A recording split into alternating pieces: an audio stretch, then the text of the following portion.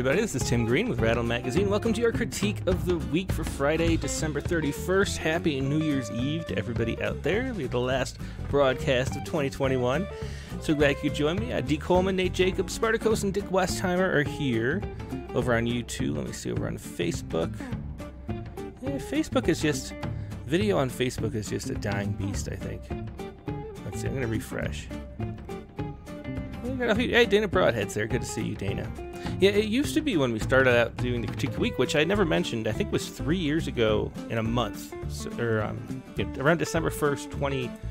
Uh, 2018 is when we started doing the critique of the week. At first, it was just on Facebook, and Facebook was trying to launch their video, you know, the video streaming thing too, sort of competing with YouTube, and so they gave it a lot of reach. And those days are over. I think we only have uh, a handful of people. We have six people watching on on Facebook. Um, and that's been the case for a while. It's been fewer and fewer. People don't get notifications. I don't know. Facebook's given up on that. I think Facebook is just sort of slowly going into the metaverse anyway. Anyway, um, the point of the critique of the week, as always, is to uh, give that workshop experience to people who might not have access to, you know, seeing what strangers think and react honestly to their poems. It's also a chance to give uh, submitters to Rattle a chance to see how the editor approaches poems and, and, how, you know, what it feels like to read a submission, which is something people always ask for. But of course, we get hundreds of poems submitted a day, and you can't do that. Um, you know, I'm just just me and Megan are here reading poems, and and uh, we can't really give feedback, but we can give feedback, you know, for a few poems a week. So we pick two poems, every, two poets every week, and uh, there's the music, and we uh, we pick two poets every week, do two poems per each poet, and then everybody gets to see sort of how it feels to read a submission too, in addition to um, helping out the poet. Um, let's see. Yeah, so Facebook's starting to pick up right now. So if we got up to eleven now, it's just much slower to um to to bring people in, I guess. Anyway, let's see. Oh, Frank Beltrano's here, and Lisa Allison over there. Kurt Linderman, good to see you all. Tom Barlow, and uh, yeah, there we go. Okay, we're up to 12 now, at least Facebook. It used to be we had a lot more on uh, Facebook. So, yeah, today's poet, uh, the first poet of the two poets we're looking at is Attracta Fahy. And we're going to look at two poems um, that have mythological references, which is not not my specialty, but um, but we'll see how these go. Uh, this first one is I didn't love in the name of God after Anne Sexton. And there's some explanations here, which um, for me are good. I, I, have really, I don't know if it's just me. I, I've mentioned this before, but I have trouble keeping track of all the myths. So anytime we get a poem submitted with one of these Greek myths, I can't remember who anybody is, no matter how. It's just I can't keep it in my head, like Persephone and and Demeter and you know all those different Greek gods and goddesses and things. Um, and here we're looking at a Celtic goddess, a Celtic goddess, I think. But um, but I can't keep all that stuff straight. So what I do is I just Google everything. You know, if there, if the poem looks um, interesting at all, then I Google uh, and remind myself what the god or goddess is or whatever we're talking about. But here is um, I didn't I didn't love better better spot. I didn't love in the name of God after Anne Sexton. And again, this is um Attracta Um, Deirdre, got your text. You said you'd left the city. Although not a prophet, I already knew this was how it would be. I think it's a little. Let me fix the brightness a little bit. I think it's a little, a little hard to see. A little better.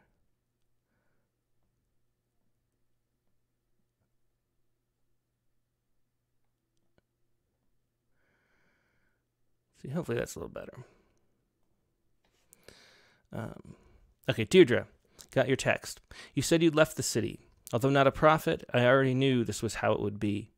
We're so predictable. Friends are like white horses, a comfort, yet only hold up when there's commonality of need. I hung in like a molting bird after your goodbye Judas kiss, and you'd slipped across into my palm. Precious talisman, 20 cents. Made in Taiwan. I didn't love the name of God or Mary. I loved from my name and child in you the longing, distress, empty days between your trips to Medjugorje in hopes of seeing Our Lady. Poor banished children, both of us turning gods into symptoms, worries, stress. Although we've we've different saviors, I also light candles in threes. Recently asked St. Thomas to intercede. I'm not jealous, all those prayers, and you still need me to do things that Our Lady will never do. I've been there, falling asleep reading novenas, wrinkled pictures on the floor, begging our, for strength in this world which demands more strength. Long nights looking at the stars, seeking windows to higher worlds. I believe the promise of mercy, walking fields, talking to him, kneeling before chip statues, those cold mothers smiling at my pain. I know the sequence of saints lined up like planets. They don't move. Anthony, Rita, Jude. I know how many steps one must climb to get inside the church, to trust you're not abandoned. How good one must be, how much sacrifice to be loved. I hear you, the saints intimate. We're here, and you're down there on your knees and have to carry your cross. After all the prayers, it was under the green trees, branches caressing my face, that I found heaven. Let's forget Deirdre. You, of great sorrow, my work is done. Who needs friendship? We have suffering, and we love the cross. My God, how many have you slipped into my bag? I'm working as delivery woman, distributing to the lonely, homeless, hungry. Here, take one, I say.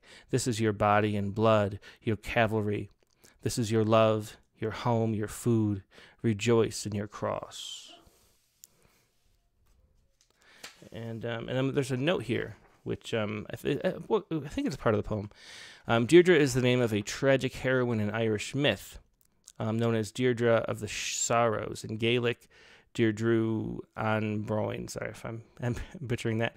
Um, I chose the name Deirdre as Anne Sexton addresses her poem to Ruth, a biblical name in the poem, with mercy for the greedy, which inspired my poem. So, so we have the myth of Deirdre.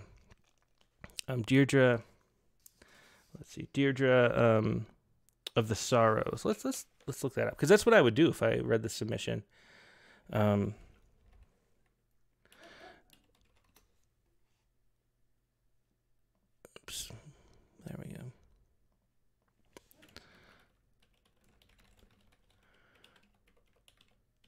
So I would I would just Google it because I'm I'm a curious person. Even though I can't keep these things in my head, I still like reading about them.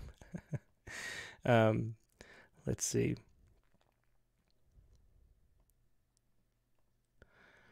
Um, her story is part of the Ulster Cycle, best known of stories of pre-Christian Ireland.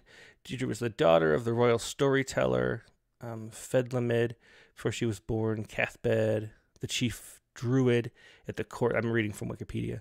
And the, at the court of Conchobar Mac Nessa, king of Ulster, prophesied. Well, this is a long story. Um, hmm. You'll have to read more of that later. But um, but so this is the poem for this week. I didn't love in the name of God. Deirdre got your text. So so the first thing I'm I'm thinking of, and I, I just feel like a broken record on these, but but it's hard to enter a poem where you don't know wh- what you're entering or who's speaking. So so when it's Deirdre got your text, like we really we're sort of lost in like time and space here. Um, and there's a really interesting sort of um, so at the beginning of the poem, we're trying to piece together and figure out like where we actually are. So Deirdre got your text. It's a great opening. I actually really like this. Um, it, it, sets up this sort of um, anachronism or, or something where we're we're talking about the future in the past at the same time. You know, with a, with a text is something you'd get. Um, so it feels like the. I mean, my interpretation of it as we move through the poem is that um, you know, we're talking about Deirdre, um, as a sort of like having an actual conversation, like like I got your message in from the universe kind of thing. That's how I'm interpreting it. But the problem is, it's really tough to figure out um, where to place yourself. So you're spending a lot of energy instead of connecting with the speaker, trying to figure out where you are within the space of this poem. Um, so Deirdre got your text. You said you'd left the city. Although not a prophet, I already knew this was how it would be. Um, so it feels like that we're jumping in. Uh, what's it called when you're jumping into the middle of the action of a plot? I'm sorry if my that's my dog outside. If you hear, that's Henry. Um, um, so we're sort of jumping in the middle of the action, and and you're sort of trying to get a sense of balance for the whole beginning of the poem. I would say. So I wonder if it would be better to like introduce the speaker a little bit so we know who's talking and like what the situation is. That's something that that we just asked for a lot here because it's a little bit difficult to um, to follow. Let's see. And so I think, and so Nate Jacob here is saying something, something similar. Strong finish to this poem. I think after the tree, it really became strong, but it took me a long time to find my way to that point. And so that's just the main thing. Um, it's really hard to approach, like if you turn the page in a literary magazine or something. I mean, in a book, it might be a different story, which is why we always talk about this, um, this sort of dichotomy between poems living independently um, and living in a series in a book where you sort of know the characters already or who the voice is. You have sort of expectations in a context when you read the poem in a book, um, or in if it's a long series of poems. But if you're if you're just encountering one poem, which is how it's usually done in magazines, you, you really get a you get lost really easily, and that's one thing. Just you always have to highlight is that um, it, it's easy it's easy for readers to get lost in, in what you're saying. And so, Deirdre, got your text. You said you'd left the city. Although not a prophet, I already knew this was how it would be. We're so predictable. Friends are like white horses of a comfort. I like white horse. I think there should be a comma there. Um, a comfort, yet only hold up when there's commonality of need. And again, we and then we don't have um, punctuation here. I hung like a molting bird after your goodbye Judas kiss, and you'd slipped the cross into my palm precious talisman, 20 cents made in Taiwan. So we have this whole scene playing out, and I still am not sure like where we are in, in space and time. And and it makes it it just makes it a little hard to, to, I don't feel grounded. I feel like I'm just sort of drifting around in some ephemeral space instead of being connected to it is the problem at the beginning. I didn't love in the name of God or Mary. I loved for my name and the child in you, the longing, distress, empty days between your trips to Mudgujori. Mug, yeah, I don't know how to say that. Medug Jor, I can't even try. In hopes of seeing Our Lady. Poor banished children, both of us, turning gods into symptoms. So this is the first, it starts to pick up here. Like Nate Jacob mentioned, it picks up later. Um, Attracta has a note here. De- Deirdre pined for her beloved Naoise um, after she was being forced to marry the king of Ulster, speaking pining for speaker pining for a friendship. So, that, so that's the, the situation in the poem. And that was Attracta the poet here to explain um, the part of the story that matters most. Um, and um, yeah, so so that I don't know, like you really want to like front load the the context. Um, let's see. Lisa Allison says, "Well, I love the imagery of the white horse it took me out of the poem a bit as it didn't stay within the overall theme, unless I'm missing a reference to the symbolism of white horses. Yeah, and, and so we're sort of sort of all swimming in the space where there's interesting stuff here, but it's almost like you don't know. It's almost like you're in like a like a tsunami or something. You don't know what to grab onto. There's like pieces of things everywhere, and you don't know really where you are, or you're not really oriented. And so there's interesting details throughout the beginning section of this poem. Um, um, but but you know, I didn't love in the name of God doesn't is a title doesn't give you a lot to go with, and then the first line sort of jumps right into the action, um, and so we're sort of trying to find our place, and we spend a lot of energy trying to find our place. Um, but poor banished children, both of us, turning gods into symptoms, worries, stress. Although we've uh, different survivors or saviors, I also light candles in threes. Recently asked Saint Thomas to intercede. I'm not jealous, all those prayers, and you still need me to do things that Our Lady will never do. What other, I like this. I like these simple lines here. Um, I've been falling asleep reading novenas. Is that I've never heard novena. Is that what's a novena? Um, novena in Christianity, a term de- um, designating a spiritual devotion consisting of the recitation of a set form of prayer for nine consecutive days in petition for a divine favor or in preparation for a liturgical feast or as participation in an important event such as a year of jubilee. That's cool. So I just one of the things I just love about reading poems and submissions is I I learn so much just because I I'm like, hey, what's that? And then you look it up. Um, so I've been there, falling asleep reading novenas, wrinkled pictures on the floor, begging for strength in this world which demands more than strength. I thought that was a great line. Um, uh, where is it? The the begging for strength in a world, this world which demands more than strength. Really good way to put it. That's good stuff. Um, long nights looking at the stars, seeking windows to higher worlds. I believe the promise of mercy.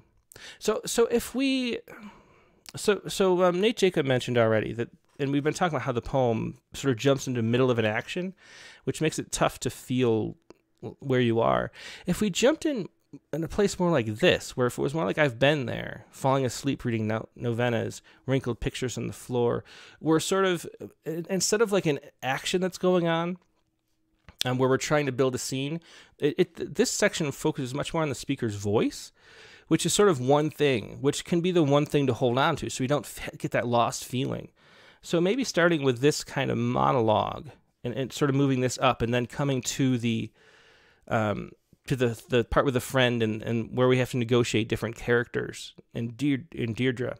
Um, maybe that would be a better start, and then we could introduce this stuff later, where we already feel comfortable with a voice, and then we'd feel like uh, like we know where we are in the poem. That might be a way to get around this issue.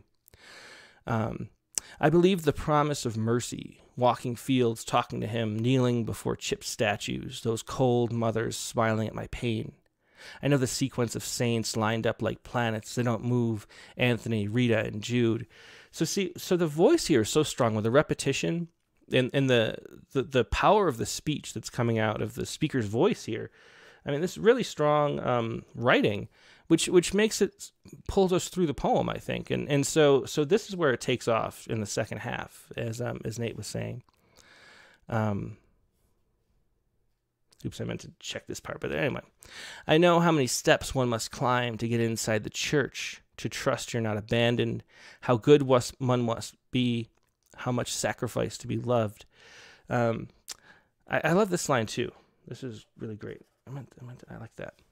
Um, I know how many steps one must climb to get inside a church. I think that's a great, um, you know, use of symbolism, a great metaphor there um, to trust your band. I'm not sure this is necessary. I think the metaphor even works better if you don't don't expand it and just let it sit there by itself. How good one must be, how much sacrifice to be loved. I hear you, the saints intimate. We're here and you're down there on your knees and have to carry your cross. Um, so one tiny note, um, unless there's a reason, I would always use double quotes. Um, you know, another thing we always talk about is, if any, anything is different about the punctuation, it ends up making you wonder why. And, um, you know, single quotes sort of, they mess up the typesetting a little bit and it's not normal. So you're just like, why? I wonder why they're using that. Even if, even if it's just a brief thought, I wonder why they're using single quotes. Um, it's a thought that you have as you're reading. And, um, because usually single quotes would be used for quotes within quotes. Um, and that's that's pretty much the only use um, for them normally. And so you wonder for a second, like, is this a quote within a quote? But it's not. And so there's that little bit of uh, unnecessary confusion, um, and not not confusion, but distraction. Anyway, after all the prayers, it was under the green trees, branches caressing my face, that I found heaven. Let's forget it, Deirdre. You of great sorrow, my work is done. Who needs friendship? We have suffering, and we have we love the cross. Again, these are really good lines. Um, my God, how many of you slipped into my bag?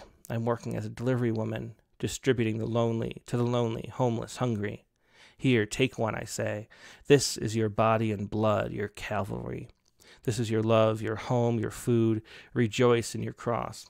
So, the interesting thing about the second half of the poem, um, um, which I, I still am not I don't know where we are really or who we're talking about. Um, Attracta's here, and she said that the poem um, is about about friendship and um, and um, where was it? I can't remember how she put it.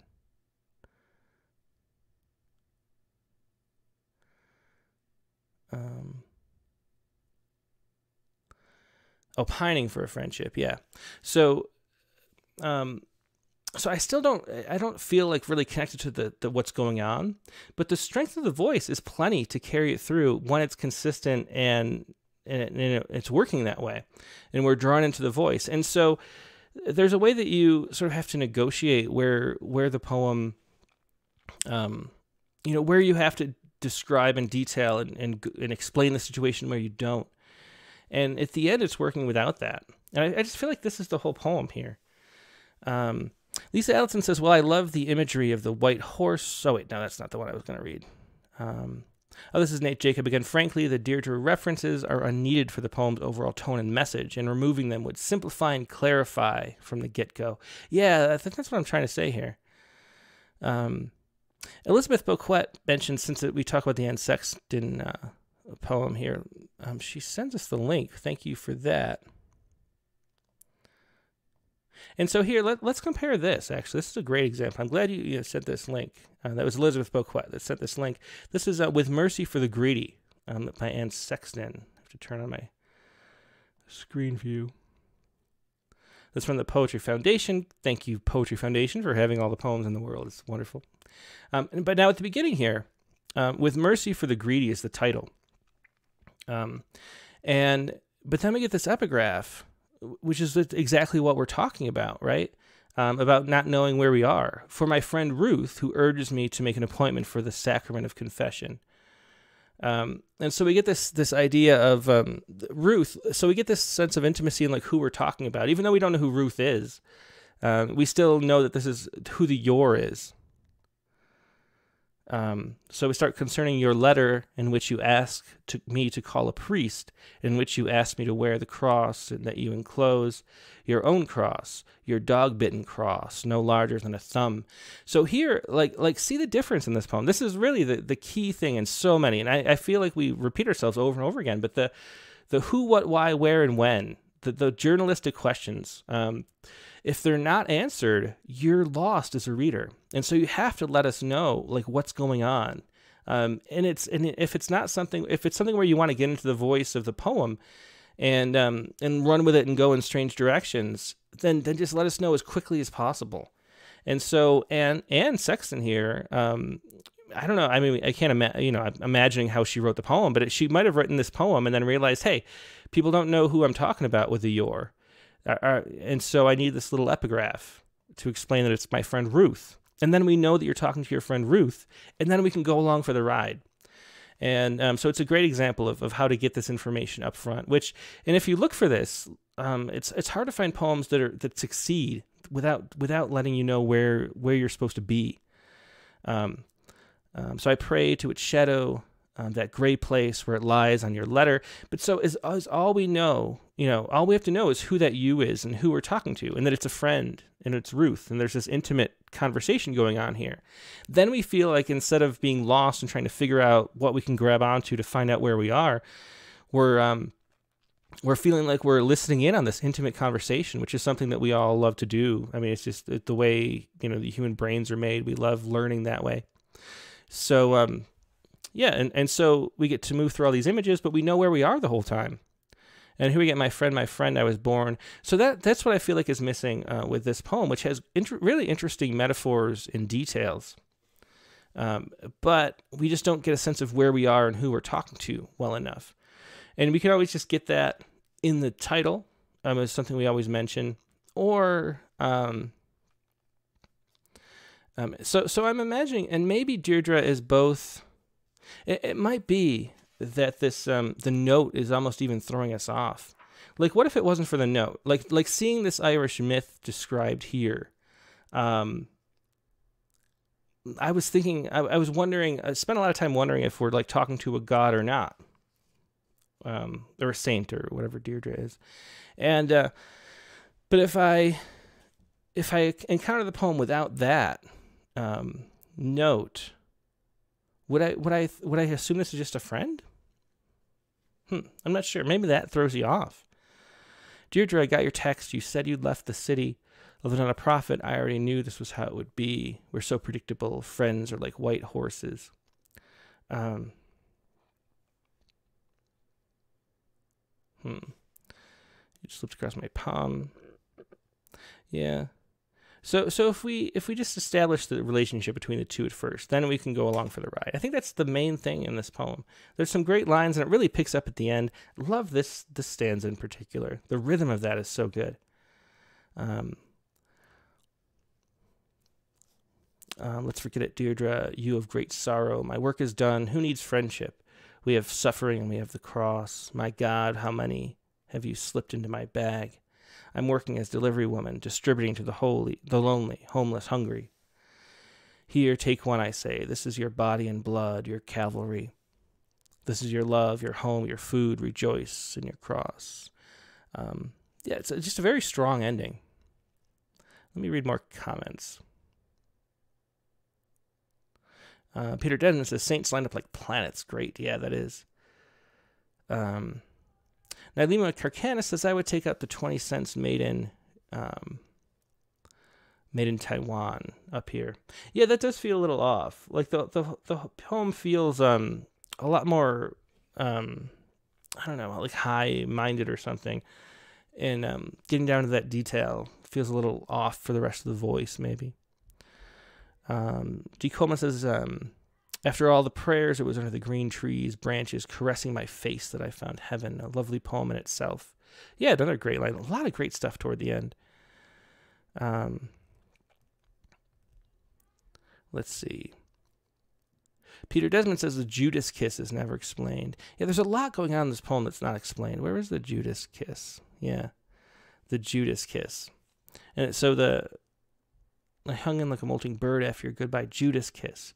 You'd slipped across into my palm.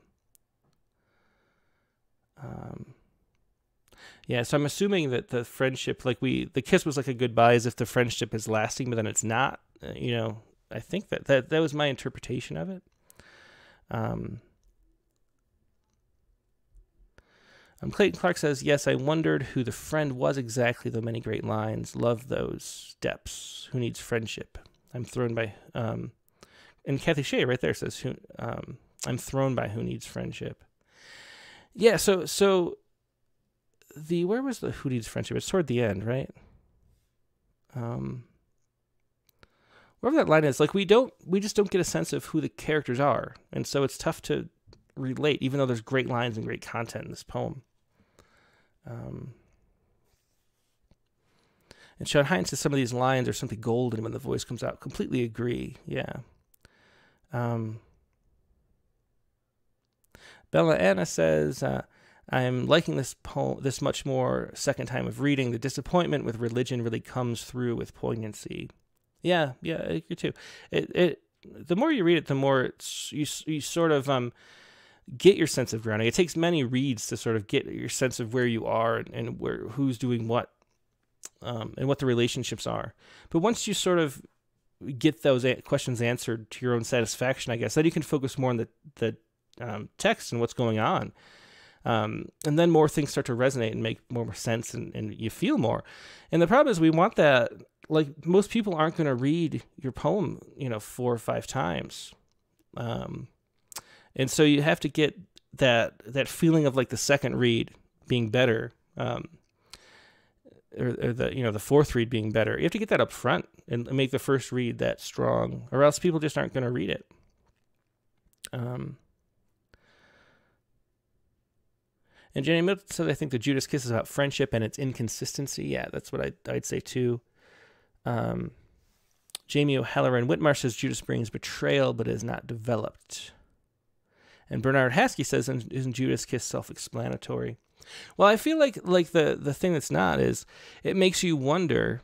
Um, you know, Judas kiss Judas is like a betrayal, like a like a I will kiss you as I stab you in the back kind of thing, and so so you wonder what the stab in the back was, like what the event that sort of brought these two friends apart, um, actually is. and so and, and it just leaves it hanging in the air and makes you wonder. Um, Marsha Owen says, "Love this poem overall, but I feel like it needs a good dusting." That's a good point. That's a good way to put it. I like that. I've never heard it put that way, but yeah. And then Lee McCarcana says, We just don't know if Deirdre is a betrayer or a sad, lost kind of goddess friend or a homeless person the narrator is helping, seeing friendship in strangers. Yeah, I mean, just the context. I mean, I, I just keep saying the same thing, but the context would let us access and engage so much more with other great content in the poem because there's great lines, great voice, great rhythm to it. Um, one thing I, I, I only put out briefly that the punctuation is inconsistent, which is something that should be, you know, we need we need punctuation um, if, if you're going to write in a certain style where there's not much punctuation or there's none at all, that's totally fine too. But it just has to be consistent or else it's a distraction. So, other than the two big takeaways here are make the the poem clear, like where we are, the context, and then a small, much smaller and less important note, but do fix up the punctuation. There's missing commas and periods and things, and that throws you off a little bit. Um, okay, let's look at the other poem. It's already been about a half an hour, but that was a that's a rich poem with a lot of stuff. So is the next one too, and we'll see if there's this one's a little more grounded, and we, we lose ourselves more or not in the in the context. It's a very similar um, way that there's references to a lot of different things that are that are coming together in this poem. So there's a big note at the end too. So be prepared for that. And I wonder too, as I was looking at this just right before I went live, if we want to pull that up and you know put the epigram at the top or if it's right there at the bottom. That's an interesting question too. But here's uh, the vagina goddess. I'm sorry, I have a sneeze, but it's not coming. But um, hang on. Um, okay, so um, the vagina goddess. Portland riots, Saturday night, Sunday morning, July 18th, 2020.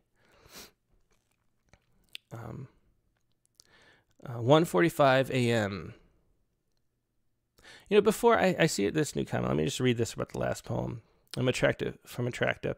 Deirdre represents a friend who became very religious and comes to me when she needs a friend, but never there when I needed a friend. Gives me crosses from Medjugorje, which I can still not say that. Sorry, but yeah. So, so that's just the context that's missing. And if we if we understood that context, then we would be able to engage in all the cool stuff in the poem.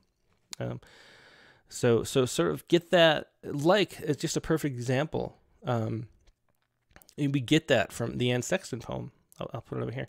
Um, we get the um, for my friend Ruth, who are, we get the whole story. Like what you just left in the comment there, Attracta, is what Anne Sexton explained in her epigram, basically. Um, and then we we don't waste our time and, and energy wondering what the situation is. We just get to know that it's this friend who became religious, and so um, so just put that up front. I think. Okay, let's go to the next poem though. The Vagina Goddess. Portland riots Saturday night, Sunday morning, July 18, 2020. 1:45 a.m. Nightly protests in Portland. Sheila Ngig walks out into the intersection, paces the crosswalk in front of armed police. Officers in riot gear. They stare, eyes fixed on her poise.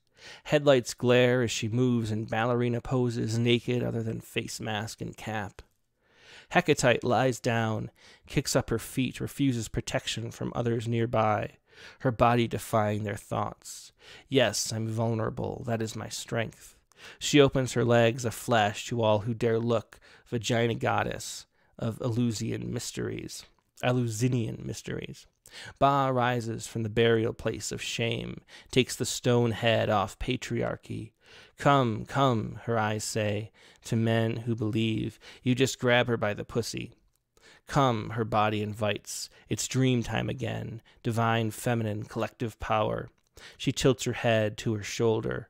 They move away. Grain goddess knows how to relieve tension. Baubo knows there's life, even in tragedy. And we have this um, epigram here.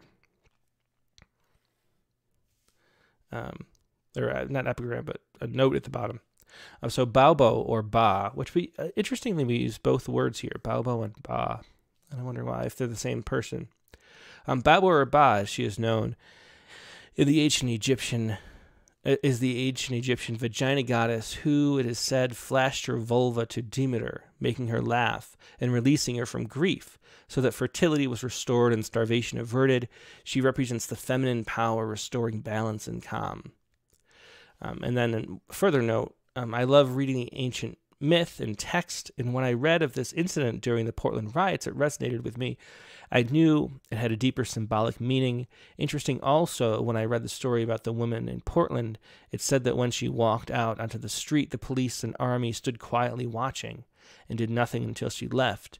It was as if they recognized some unconscious on some unconscious level that this was significant, an ancient ritual repeated in modern times. Um, so, so we get again we get the whole the sort of poem explained here. Um, and I wonder, this is one of the questions I always have, um, or it just frequently comes up. Um, like I'd, I'd, sort of weirdly rather not be familiar with the with the content. Um, like like I have to look up um, know, Demeter or whatever. And I did happen to I don't know how um how familiar you are. Was that um the woman came out naked during the Portland riots? It, you know, at 2 a.m. or whatever, like it said, and and sort of it was this really surreal scene. There's video of it um, all over the internet. Um, and, and having seen that, um, and it was a really powerful, interesting moment. And so it's really cool to see a poem sort of try to capture that, um, you know, that feeling and what was going on, the deeper things, because you could sort of watch it and just tell everybody felt um, that something deeper was happening there, which is really interesting. Um, but I wonder if you haven't seen that video, how much different your interpretation of the poem is, and, and how much um, you know so so a lot of these times there's a lot of things um that i will ask. I'll try to find somebody who um you know hasn't heard of the thing or doesn't know more about it to see if they um a lot of times alan um, since he's older doesn't have a lot of the same cultural references for new things. So i will ask him if it makes sense not knowing it because we want readers to you know understand the poem if they haven't seen the video you know so there's that that issue going on too a lot um uh, but it's really fascinating content here. Um, so the vagina goddess is the title, um, and I think that works as a title. It, it, it um it's memorable and interesting. Uh, Portland riots, Saturday night, Sunday morning, July 18, 2020. Um, I, think, I mean, this would just be technically early Sunday morning. I think maybe I just say early Sunday morning because we get the time right there. I think that would make it the 19th too. Um, 1:45 a.m. nightly protests in Portland. So I would like like here. Um, the start of this poem doesn't really um, grip in the same way as it could. Like uh, um, Sheila Gig walking out in the intersection in the middle of this protest is such a a, a, a big sort of scene. Um, we could build this up a lot before, like set the stage before she enters and so have like describe the um, instead of just saying that there were nightly protests in Portland, um, describe the actual scene. Like make it like an ekphrastic kind of. You're explaining what you're looking at at the picture. Like like make us see the video, um, if we haven't seen the video.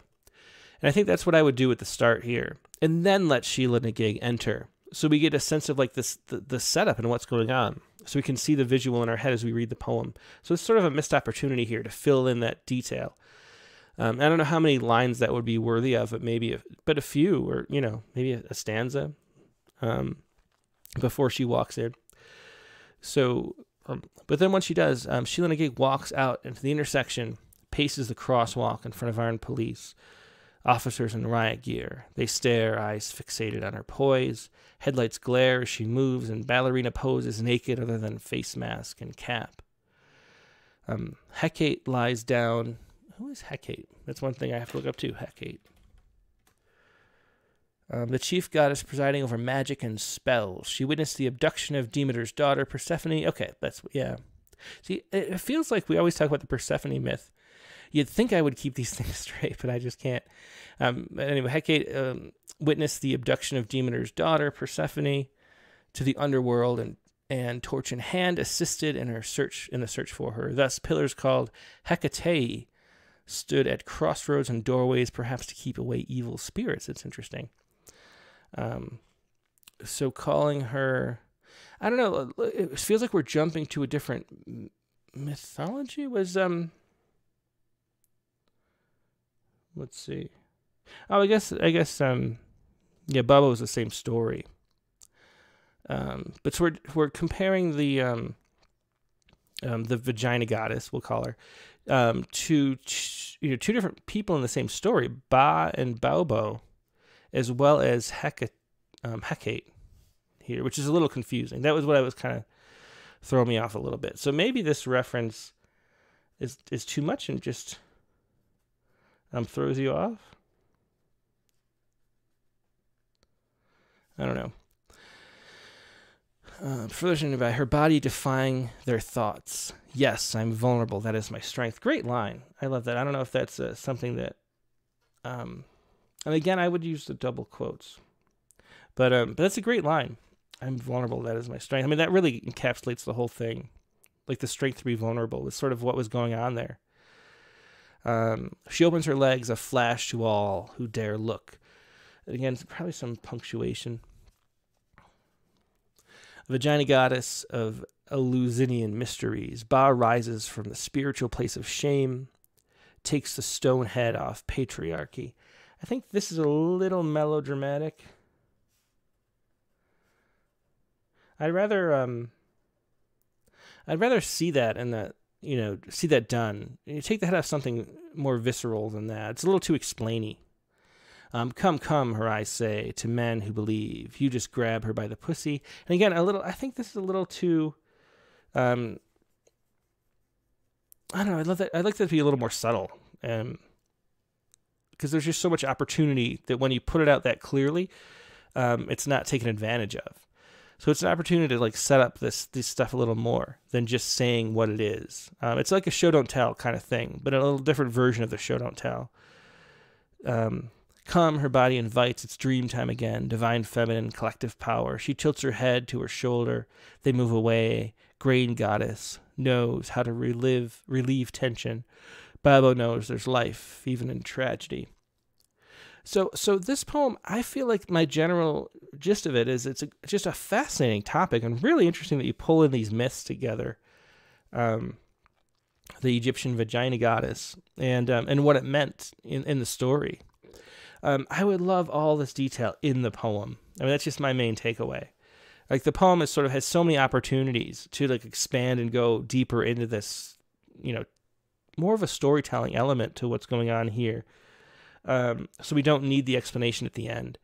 I think the, um, you know, a lot of times we, um, in, in, the actual poem, people will will put like an explanation as the last paragraph because they feel like we don't get it and it's not necessary. Here, this explanation, which is not included in the poem, does feel necessary, and I want the whole thing in the poem.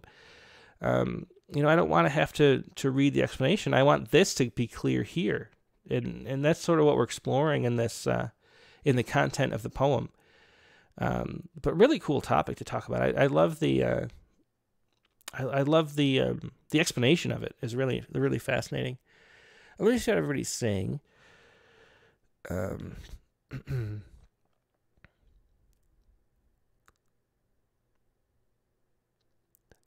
Elizabeth Bouquet says, uh, "Yeah, well, there's nothing subtle about it. That's true." Um, um, Jenny Middleton says, "I know Sheila Nagig is a stone carving of a vagina goddess." Let's see, Sheila Nagig. I thought that was, yeah, that's a good thing to point out. Let me. I thought I knew what that was, but maybe not. Sheila Nagigs are figurative carvings of naked women displaying an exaggerated vulva. They are architectural grotesques found throughout most of Europe. Um, um, on cathedrals, castles, and other buildings. The greatest concentrations can be found in Ireland, Great Britain, France, and Spain sometimes, um, together with male figurines. Yeah, that's what I was thinking of. And so I, you know, I was thinking when the when they got to this, I was thinking of a Sheila gig come to life or something. Um, and so I think that that fits with the poem. Is there does it fit with um the you know Persephone and Demeter and and that stuff? I assume that that sort of pulls in into that those legends. but I'm not, I'm not seeing it here, so maybe not. So maybe we're talking about like two separate myths. Um, at least Wikipedia isn't mentioning Persephone. And, hmm. Anyway, but yeah, so so I would just like like this explanation sort of is the poem, and so I would so the tell tell this through the storytelling of the poem is my is my main takeaway. It's wonderful content. I just love I love that aspect of it. Um, and uh, Peter O'Donohue um, says that's a Trump quote. Yeah, the the grab him by the pussy thing that was from the tape. You know, it was over you know taped uh, conversation of him uh, before the election. Let's see.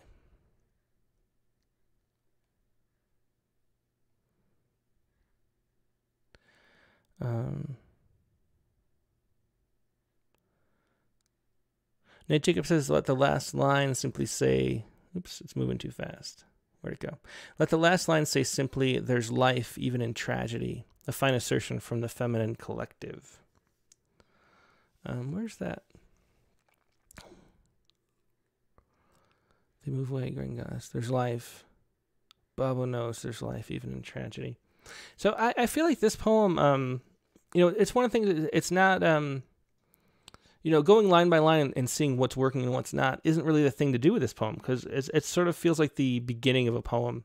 Uh, you know, the first draft where we realize that we need to tell all this stuff. I, I really think that's the main thing. Um, like set the scene. I can see how the poem can play itself out really clearly. It's really easily how this, to see how this can go. So set the scene um, where this Sheila gig is going to walk out um, and um, you know paint the stage for us, and then so we have the armed police, which we get a little bit here, the riot gear and stuff, but but show the whole scene, and then have her walk out, and then through the through the walking out as the descriptions, through that as you're describing the actual person in in 2020 walking out.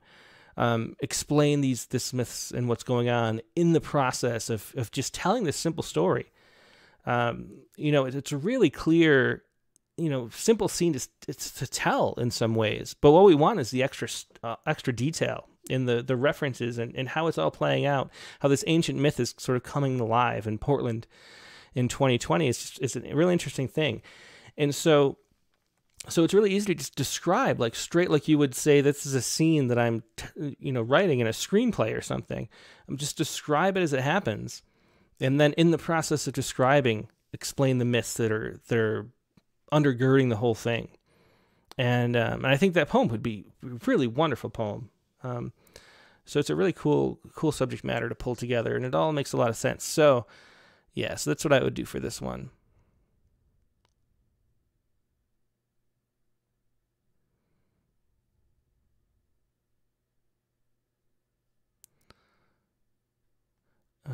Let's see. Brenda Conley says Billy explains before he reads if questionable. Who's Billy? Is that Billy Collins you're talking about? I know a lot of people on here uh, watch the Billy Collins uh, broadcast that he does, which I do too. I enjoy those. Headlights can be slang, humorous reference for a woman's nipples. Oh, I didn't even think of that. That's Mary, Mary Ellen Carr. Headlights can be slang, humorous reference for a woman's nipples, and I don't think it should be used even accidentally in this context. That's something I didn't notice, but yeah, maybe. Um, and so that's Billy Collins that Elizabeth was talking about. Um, let's see, default. So I'm on slow discussion. Okay. Yeah, sorry, uh, the Facebook. Um, Facebook is really frustrating me the last few months. and I'm not sure if I'm because I'm seeing people reply to comments I'm not seeing. So um someone said I didn't know about the Portland incident and Mary Ellen Carr says me neither. So yeah, it's a cool video. I suggest watching it. There's a weird sort of power and, and vibe in the air. Um let's see. Kim Tedra says uh, this could be a powerful poem, but I'd connect with it more if there was a stronger narrative element. It jumps from Portland to myth, and I want more Portland woven in, but I like ripping the head off the patriarchy. yeah, um, yeah. So that's the thing. I mean, just just tell this whole story. Um, tell it all in the poem. Um, and, and really, it lays itself out so clearly for how you do that. Um, over on YouTube.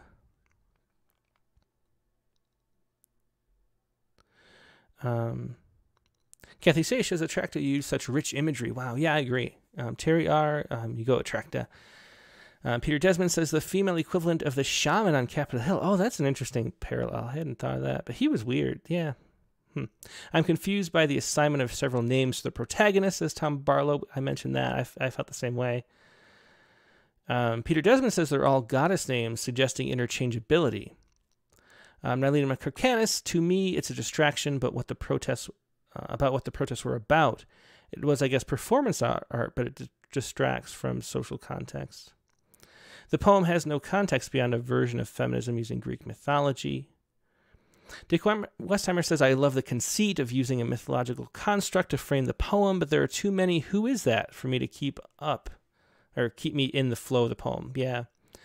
Peter Desmond says, T.S. Eliot Wasteland footnotes. Clayton Clark, I also like something about the breath of George Floyd, or breath itself included, since it wasn't about her. Floyd was the impetus. And um, and Dick Westheimer mentioned Sheila Gig is also a great poetry journal and book publisher. Yeah, it is. Yeah. Okay, so we've gone on a long time with these, but it's two really interesting, rich, rich poems. And uh, I'm way over time. I didn't even. I kind of lost track. but anyway, um, let's look at the other poems. And, but thanks you for Attracta for sharing those two poems. I really hope that you. Um, I hope to see what you what comes of, um, especially the second one. I think that's such a. Um, I haven't seen anybody write a poem about that. There were some Poets Respond poems I remember at the time that were submitted. We didn't publish any, um, but I haven't seen any since. I'm sure they're around. But it's such a cool topic for poems, and the way you bring those the mythology into it um, is really enriches the. Uh, so so just tell the story and then bring all that stuff into the poem. I think it's going to be great. So I hope you uh, I hope you do that. I hope you get to see it. But we got to move on because it's uh, it's been 50 minutes. Uh, Jun Bin Lee. Not quite spring. This is the second poet. We have two poems by Jun Bin Lee. Not quite spring. Snowfalls of dead lilac petals warm my cheeks and freeze my feet, merging with the sky's white blanket. My hair falls to my shoulders now, which get tenser with each condensed exhale, and release with every glance in the mirror, where I find spring flowers finally emerging through the cigarette butts and disposable coffee cups, unsure of blooming, but finally unafraid to face the cold. It's interesting here. Not quite spring. And this is Jun Bin Lee. Very different than the other poem. A, a very sim- much simpler and less, um, you know, less like substancey stuff. Snowfalls of dead lilac petals warm my cheeks and freeze my feet, merging them with the sky's white blanket. So very, very nice description at the beginning. Um, would dead lilac petals, though, I'm just wondering, literally, would dead lilac petals last that longer? I guess it, it's um not quite spring. It's hard to sort of place where we are, though. So in, in time, because um, you know, dead lilac petals. Lilacs, I think, are the first. Aren't they like the first flowers to bloom? Um, and so they're like an early spring bloom, and then um, but then it would be spring because they're blooming. Do you know what I'm saying? So and they couldn't be on the leaves. They couldn't be on the lilac bushes still from last year.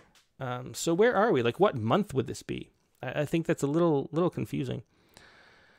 Uh, my hair falls to my shoulders now, which get which get tenser with each condensed exhale, and release with every glance at the mirror where I find spring flowers finally emerging through the cigarette butts and disposable coffee cups, unsure of blooming, but finally unafraid to face the cold.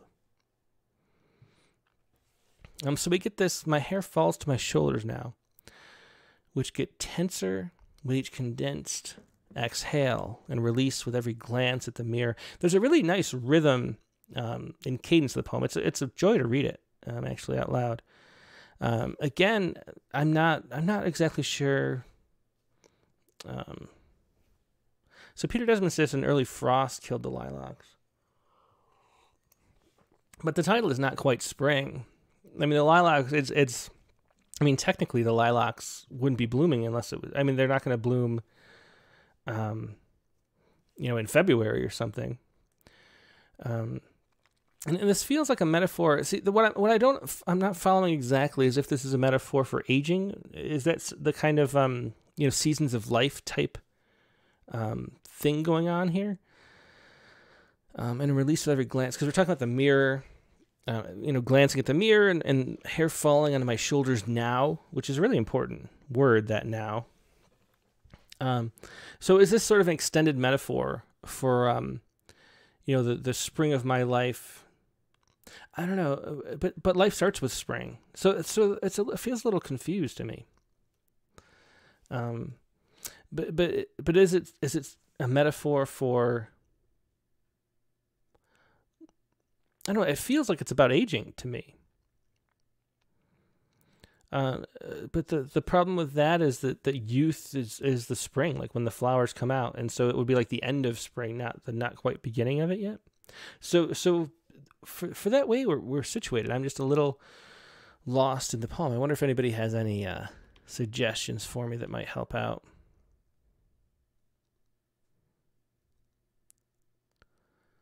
Yeah, so Nate Jacob uh, Peter King Badger O'Donohue says, "A Happy New Year, Tim." Yeah, Happy New Year to you too. He has to go, but but yeah, Happy New Year. Um, Nate Jacob, not quite spring, is a late spring snow, right? Emergence from winter, delayed by late snow. I guess that would make sense. So so it's just the title. Um, I mean, it's more like saying not not spring after all or something. Um, Nate Jacob also says the feeling is confusing to me. Hopeful, hopeless, light, dark. I'm not sure yet. Yeah, I'm not sure. I'm not sure just what to place, where to place myself within this poem, or or what to take from it.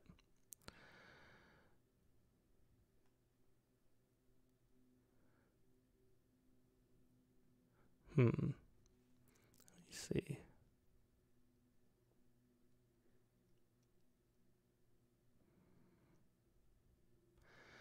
So I think this is um, a comment from the author. I didn't send any context, but I am non binary, and this was written in a significant point of my transition. So that's very interesting. So that sort of adds a whole layer of meaning to this that that um, isn't included in like like so like we were talking about with Attracta's poems. Like if we get the context, like the context just allows us to go along for the ride. Like if we don't know uh, what the context is, we can't experience it too. And the whole point of poems is to, to have that shared experience where we get to step into somebody else's shoes and perspective and mind and heart for a while. And um, if we don't know the situation, um, then then we can't. So so I'm yeah. So I was completely sort of wrong in imagining what this was about. If this was about um um um the significant point of of um, the author's transition so um, so so like tell us that so we get to understand what's going on, um, and then and then we'll get to go along for the ride too. Um, Snowfall of Dead Lilac Petals. Let, let's read it again with that context in mind and see if it makes more sense. Not quite spring. Snowfalls of dead lilac petals warm my cheeks and freeze my feet, merging them with my, the sky's white blanket.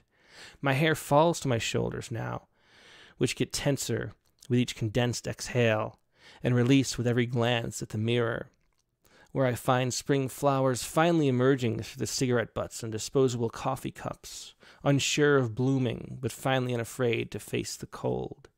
So that that context makes it make a whole lot more sense. Um, Nalina Karkana says, I like the idea of blooms emerging from the lost or discarded illusions to non binary existence could ground the poem. Clayton Clark says, "Oh, that would be really helpful. Love the sounds and images, but felt lost." Yeah, exactly. So this, so so if I mean again, we we do this a lot, but just put that in the title, um, so we know what's going on, and then we can and then we can you know feel it with you, which is what we want to do with poems. Um. So, so it makes a whole lot of sense with that context. So that for this one, just add the context. Um,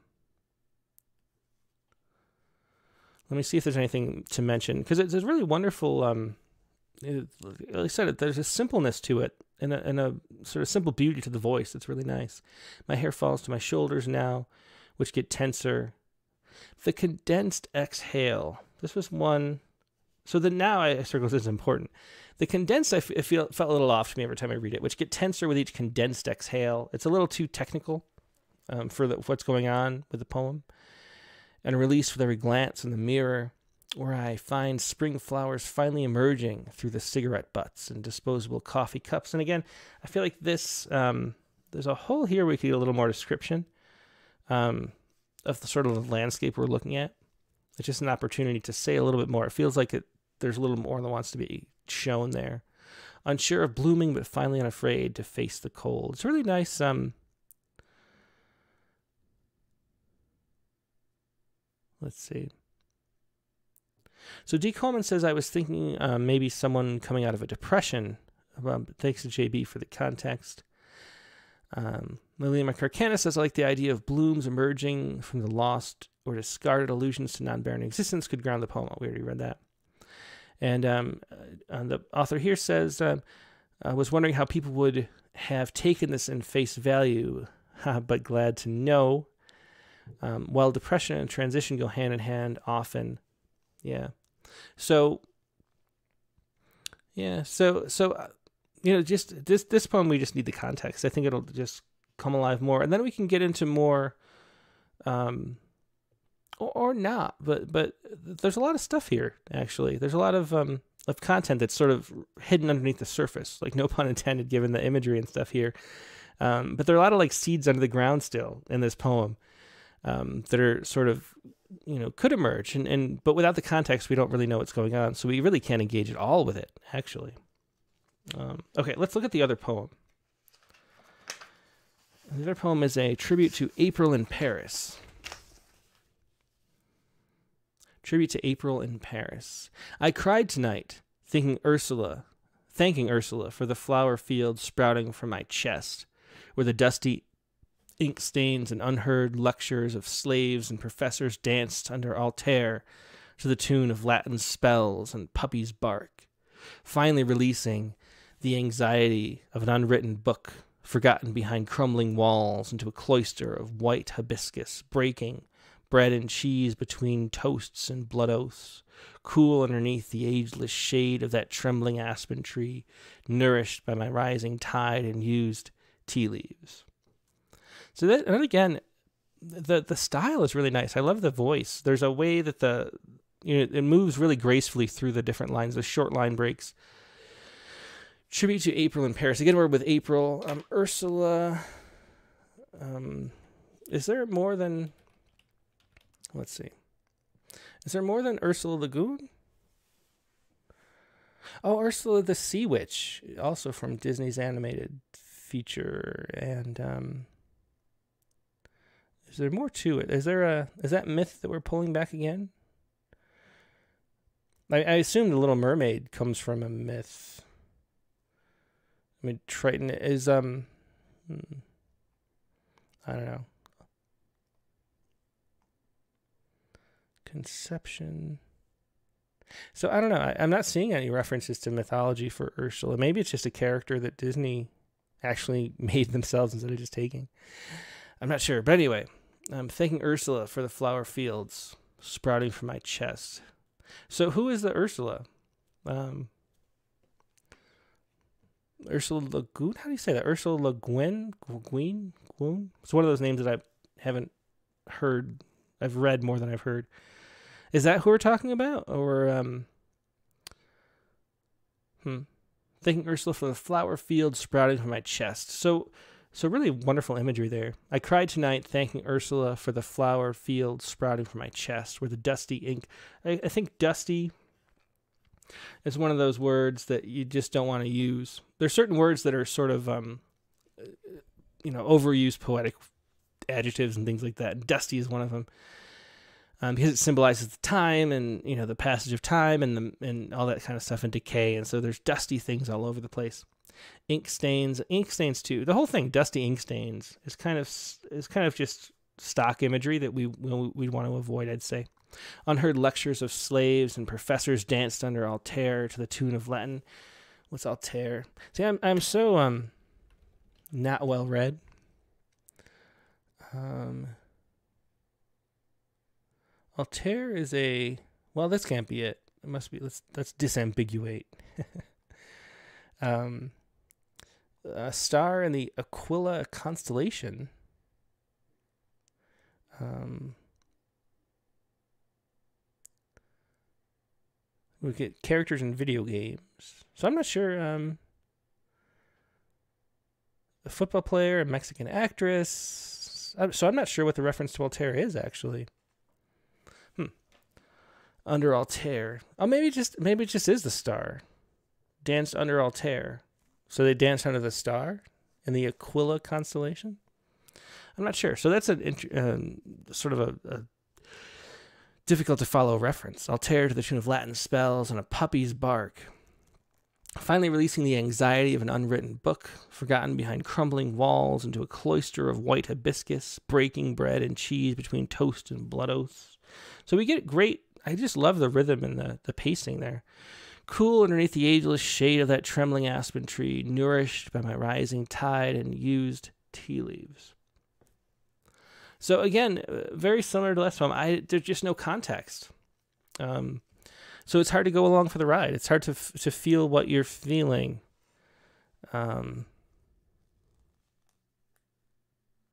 so Kim Tedder says I'm a little lost in the first stanza, but I love to the tune of Latin spells. Um,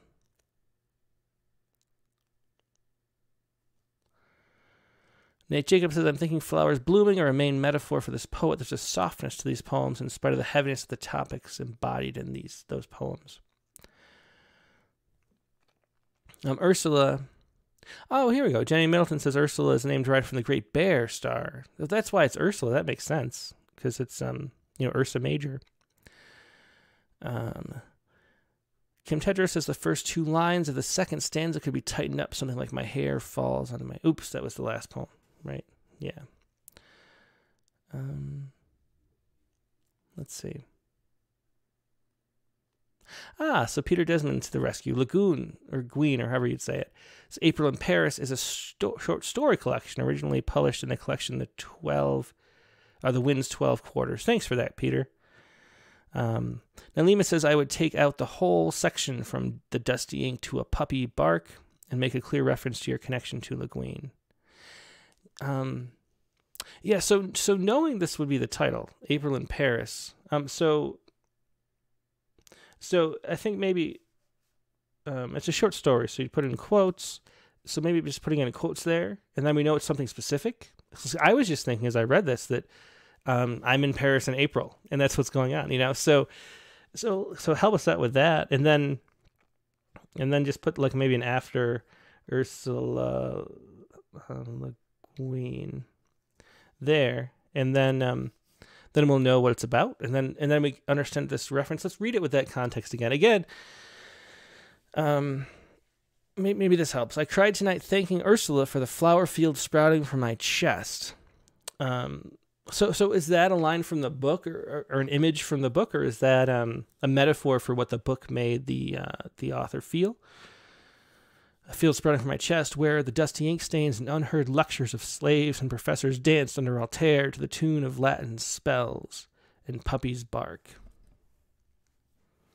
Um, yeah, I don't know. I feel um, let's see. Finally, releasing the anxiety of an unwritten book. I, I do. Um, Nylema says, uh, Nylema Kirkanis here says the anxiety of an unwritten book is a great line, and it is. There's a because we we all of a sudden know what you're talking about. You know, there's is there sort of a real tangible thing to understand there.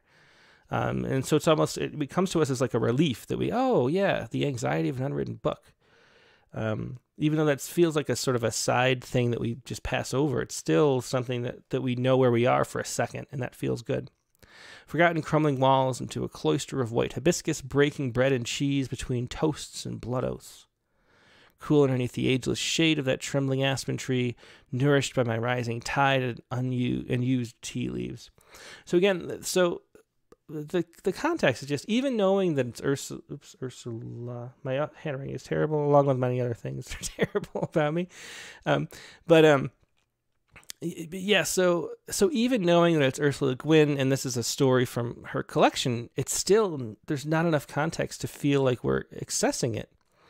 Um, and so, so, so looking at both these poems together, um, there's a really nice voice. There's a nice, um, you know, the the um, Jun Bin Lee, um, clearly someone who reads reads a lot and has a, a, great ear for for language because the, there's a flow and a rhythm to these. Um, but there's so much withholding that we aren't let into the poem. It's, it's they're very personal and private um, in a way that, that we can't really access as readers, and that's what's going on here. So the so adding in the context of this really you know opens up the poem here, but we don't get the context.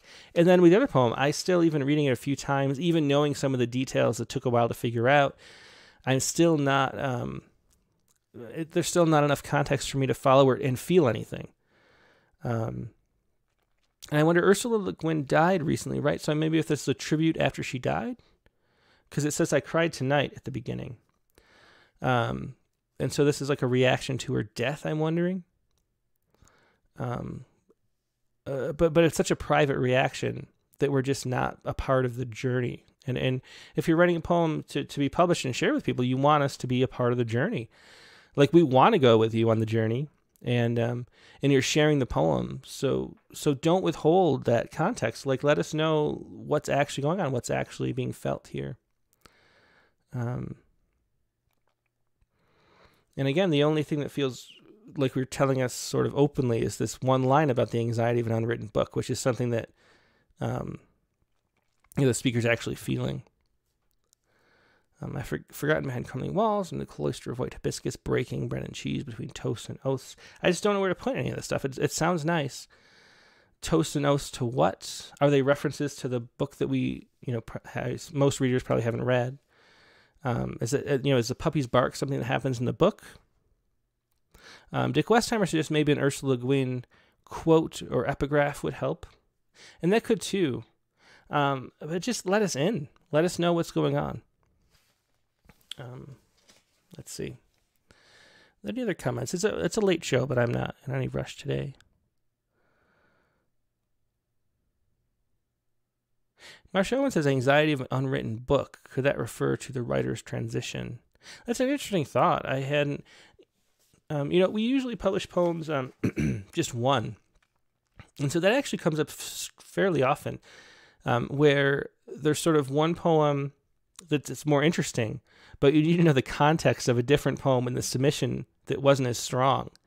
And so I'll try to think of, of how we could, um, you know, publish the strong poem while letting you know what the poem next to it in the submission was saying. That that happens a good amount, which is why I talk about how it's different um, reading, you know, a book where you get the whole context of what the author's writing about. Um, makes it a lot makes it easier sometimes than just reading individual poems. Um, and so maybe that is something that plays in here too. Um, or maybe not. Like you sort of can't assume. Like each poem is its own little world, and unless they're together, even when they're next to each other, you can't really assume that that the speaker's the same speaker. Um, so you got to let us know all that context so we can know how to feel. Um, but yeah. Hmm. So any other? Yeah, Susan Zimmer says very helpful. I see this a lot and do it myself. Withholding. Yeah, we're just we want. We really were drawn, and I've said this before in interviews and things, but um, I really think that honesty and and intimacy are what we're drawn to. Um, like I feel like um, like truth, in, in as far as just like the open confession of truth, you know, is what is the main attraction for for poetry. And i feel like you can hear like the hum of truth in certain poems whether or not you know the context sometimes or um, no matter what the topic is um, when someone's speaking authentically i mean authentic is another good word too um, you can just hear it like a music coming in from a fuzzy radio station you know? And um, and so and that's what we want is to to experience your experience authentically which is something that's at one level impossible to do but we can keep trying and which what makes it a perpetual amazing thing is is all of us trying to to live in other people's experiences which is just that's what makes poetry sort of special. And uh, so so don't withhold like let us know the context like let us know the things that you know that apply to the poems and then we can feel them with you and that's what we want to do. So uh, So don't withhold is just the main takeaway from this. Um, Kimberly McNeil points out this too. I love the anxiety of an unwritten book line, and I wonder if that could just be somehow. I mean, that could be a tiny poem itself too. Um, anyway, I think we are done for today. But thanks everybody. This was Jun Bin Lee with um, two poems tribute to April in Paris, and um, and the other one was Not Quite Spring.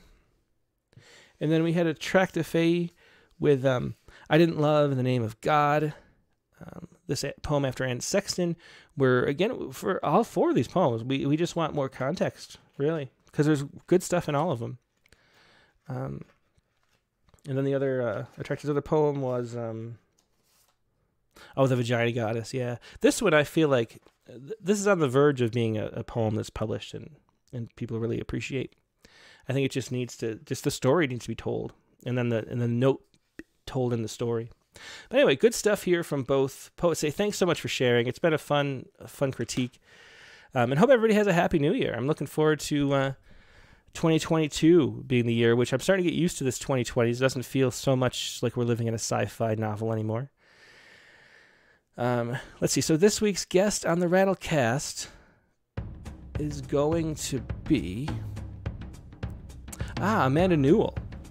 Um, and I fixed the typo. It says January now. Um, Amanda, of course, was one of the winners of the Rattle Chapbook Prize last year um, for I Will Pass Even to Acheron, uh, the book about uh, one of her students who um, went off to Afghanistan and lost a leg and then comes back. And, and her experience with that is what the book's about. I will pass even to Acheron, and she also has another book forthcoming in 2023. So we'll read some poems about that. I mean, everybody has backlogs. It's kind of a long wait for a lot of writers. So we'll, we'll, read some other poems from Amanda, I'm sure. That is Rattlecast number 125, and the, the prompt for this week was, I'm going to have to look it up. The prompt for this week? Oh, I think it was, yeah, it was something to do with the new year, right? You can tell I haven't written a poem yet. um, write a poem about a moment of 2021 you'll never forget. So a poem about a moment of 2021 you'll never forget. A good New Year's prompt as we look back on the year that was. And uh, We'll be joining with Amanda Newell, our guest, on Rattlecast number 125, the regular time, Sunday, January 2nd, noon Eastern, 9 a.m. Pacific. Hope to see you then. Hope you have a great weekend and a happy new year. Drive safe if you're driving anywhere, of course, and uh, and uh, have a good one. Take care.